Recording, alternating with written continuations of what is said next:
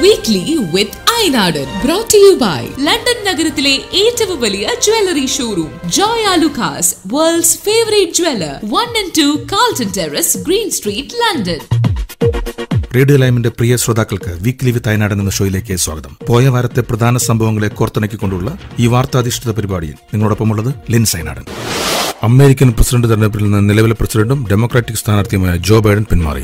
പാർട്ടിയുടെയും രാജ്യത്തിന്റെ താല്പര്യത്തിന് വേണ്ടി താൻ പിന്മാറുന്നുവെന്ന് എൺപത്തൊന്നുകാരനായ ബൈഡൻ കഴിഞ്ഞ ഞായറാഴ്ച പ്രഖ്യാപിച്ചു. നവംബർ അഞ്ചിനാണ് പ്രസിഡന്റ് തെരഞ്ഞെടുപ്പ്. റിപ്പബ്ലിക്കൻ സ്ഥാനാർത്ഥി ഡൊണാൾഡ് ട്രംപുമായുള്ള പ്രസിഡൻഷ്യൽ സംവാദത്തിലെ മോശം പ്ര- പ്രകടനത്തെ തുടർന്ന് പാർട്ടിയിൽ നിന്ന് ഉയർന്ന ശക്തമായ സമ്മർദ്ദമാണ് പിന്മാറ്റത്തിന് കാരണമെന്നാണ് വിലയിരുത്തപ്പെടുന്നത്. പ്രസിഡന്റ് തെരഞ്ഞെടുപ്പിൽ മത്സരിക്കാൻ തനിക്ക് താല്പര്യമുണ്ടെങ്കിലും പാർട്ടിയുടെയും രാജ്യത്തിന്റെയും നന്മയ്ക്ക് മത്സരത്തിൽ നിന്ന് പിന്മാറി ഇനി ബാക്കിയുള്ള സമയം പ്രസിഡന്റ് പദവിയിൽ കൂടുതൽ ശ്രദ്ധിക്കുന്നതാണ് നല്ലതെന്ന് താൻ കരുതുന്നതായി അദ്ദേഹം സമൂഹമാധ്യമത്തിൽ കുറിച്ചു. ബൈഡൻ വിജയിക്കാനുള്ള സാധ്യത വളരെ കുറവാണെന്ന് മുൻ പ്രസിഡന്റ് ബാറക് ഒബാമയും അഭിപ്രായപ്പെട്ടിരുന്നു. നിലവിൽ കോവിഡ് ബാധിച്ച് അവധിക്കാല വസതിയിൽ നിരീക്ഷണത്തിലാണ് ജോ ബൈഡൻ. അമേരിക്കൻ പ്രസിഡന്റ് സ്ഥാനാർത്ഥി കമല ഹാരിസിനെ ജൂതവിരുദ്ധ എന്ന് ആക്ഷേപിച്ച എതിർ സ്ഥാനാർത്ഥി ഡൊണാൾഡ് ട്രംപിന്റെ നടപടി വിവാദത്തിൽ. കമലയുടെ ഭർത്താവ് ജൂതനാണെന്നിരിക്കെ ട്രംപിന്റെ വസ്തുതാവിരുദ്ധ പരാമർശത്തിനെതിരെ വ്യാപക പ്രതിഷേധമാണ് ഉയരുന്നത്. തെരഞ്ഞെടുപ്പ് പോരാട്ടത്തിന് മുന്നിലുള്ള ട്രംപിന്റെ പ്രഭാവത്തിന് ഈ പരാമർശം മങ്ങലേൽപ്പിക്കുമെന്നാണ് വിലയിരുത്തപ്പെടുന്നത്. നിലവിൽ അമേരിക്കൻ വൈസ് പ്രസിഡന്റായ ഇന്ത്യൻ വംശജ കമല ഹാരിസ് പ്രസിഡന്റ് തെരഞ്ഞെടുപ്പിൽ തന്റെ ഡെമോക്രാറ്റിക് പാർട്ടി സ്ഥാനാർത്ഥി ഔദ്യോഗികമായി പ്രഖ്യാപിച്ചു. സദേൺ ഫ്ലോറിഡയിലെ ഒരു മത കൺവെൻഷനിൽ സംസാരിക്കുമ്പോഴാണ് ട്രംപ് കമലയ്ക്കെതിരെ പരാമർശം നടത്തിയത്. ബുധനാഴ്ച യു എസ് കോൺഗ്രസിൽ ഇസ്രായേൽ പ്രധാനമന്ത്രി ബെഞ്ചമിൻ നദനേഹുവിന്റെ പ്രസംഗം കമല ഹാരിസ് ബഹിഷ്കരിച്ചതിന് കാരണം വിശദീകരിക്കുകയായിരുന്നു ട്രംപ്. സ്ഥാനാർത്ഥിയിൽ നിന്ന് പിന്മാറാനുള്ള ജോ ബൈഡന്റെ തീരുമാനം ഡെമോക്രാറ്റിക് അട്ടിമറിയാണെന്നും അമേരിക്ക അതിലൂടെ ലോകത്തിന് മുന്നിൽ കോമാളിയായെന്നും ട്രംപ് അഭിപ്രായപ്പെട്ടു. അതേസമയം ട്രംപിന്റെ ഈ പ്രസ്താവനകളെല്ലാം കമല ഹാരിസിന്റെ സ്ഥാനാർത്ഥിയുള്ള ഭീതി മൂലമാണെന്നും ട്രംപിന് തന്നെ തിരിച്ചടിയാകുമെന്നും അഭിപ്രായപ്പെടുന്നവരുമുണ്ട്. അതേസമയം മുൻ പ്രസിഡന്റ് ബാരക് ഒബാമയും കമലയ്ക്ക് പൂർണ പിന്തുണ പ്രഖ്യാപിച്ച് കഴിഞ്ഞ ദിവസം രംഗത്തെത്തിയിരുന്നു.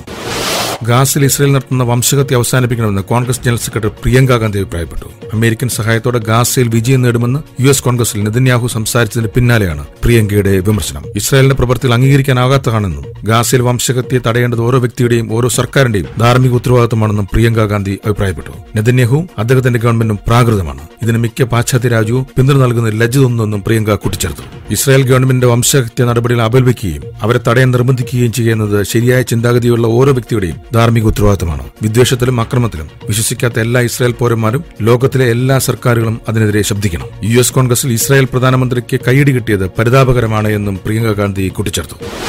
നീതി ആയോഗ് യോഗത്തിൽ നിന്ന് പ്രതിഷേധിച്ചിറങ്ങി പശ്ചിമബംഗാൾ മുഖ്യമന്ത്രി മമതാ ബാനർജി.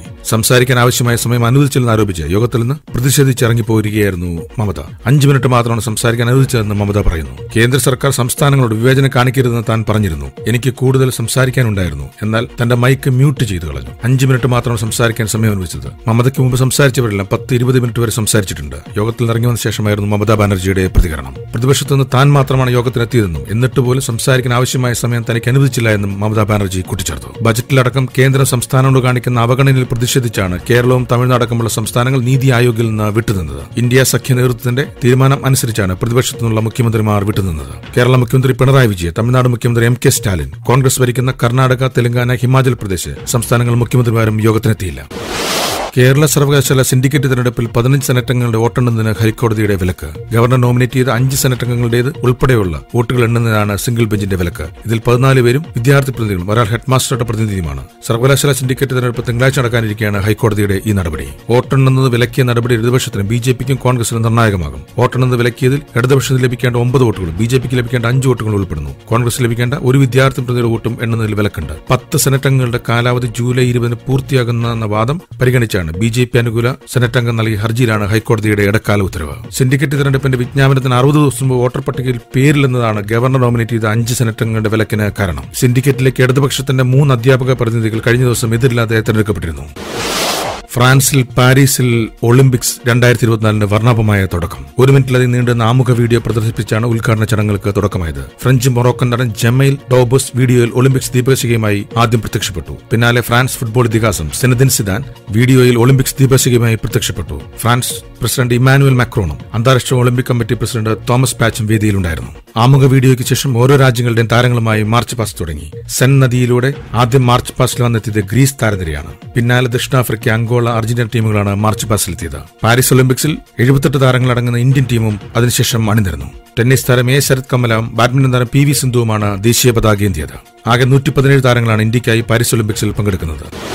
ഇന്ത്യൻ ക്രിക്കറ്റ് ഏകദിന ടി ട്വന്റി ടീമുകൾക്ക് പിന്നാലെ ടെസ്റ്റ് ടീമിന്റെ ഉപനായക സ്ഥാനത്തേക്ക് ശുഭം ഗില്ലിനെ പരിഗണിക്കുന്നതായി റിപ്പോർട്ട്. സെപ്റ്റംബറിൽ ബംഗ്ലാദേശിനെതിരെ നടക്കുന്ന ടെസ്റ്റ് പരമ്പരയിൽ ബുംറയ്ക്ക് പകരം ഗിൽ ഇന്ത്യൻ ടീമിന്റെ ഉപനായക സ്ഥാനത്തെത്തിയേക്കും. റവ് സ്പോർട്സ് ആണ് ഇക്കാര്യം റിപ്പോർട്ട് ചെയ്തിരിക്കുന്നത്. സെപ്റ്റംബർ പത്തൊമ്പതിന് ചെന്നൈയിലാണ് ഇന്ത്യയും ബംഗ്ലാദേശും തമ്മിലുള്ള ആദ്യ ടെസ്റ്റ് നടക്കുക. രോഹിത് ശർമ്മ അയക്കുന്ന ടീമാകും ബംഗ്ലാദേശിനെതിരെ കളത്തിലിറങ്ങുക. മുമ്പ് രോഹിത് ശർമ്മയുടെ അഭാവത്തിൽ ഇന്ത്യൻ ടീമിന്റെ നായകനായിരുന്നത് പേസർ ജസ്പ്രീത് ബുംറയാണ്. മുപ്പത്തേഴുകാരനായ രോഹിത് ശർമ്മ അതിഥികാല അന്താരാഷ്ട്ര ക്രിക്കറ്റിൽ തുടരുന്ന വ്യക്തമാണ്. ഈ സാഹചര്യത്തിലാണ് ഇന്ത്യൻ ടീം പുതിയ നായകനെ തേടുന്നത്. ഈ മാസം ആദ്യം നടന്ന സിംബാബ്വെക്കെതിരെ ടി ട്വന്റി പരമ്പരയിൽ ഗിൽ ഇന്ത്യൻ ടീമിന്റെ നായകസ്ഥാനത്തേക്ക് കടന്നു വന്നിരുന്നു. ഐ പി എല്ലിൽ ഗുജറാത്ത് ടൈറ്റൻസ് നയിച്ചെങ്കിലും യുവ ഇന്ത്യൻ താരത്തിന് വിജയങ്ങൾ നേടാൻ കഴിഞ്ഞിരുന്നില്ല.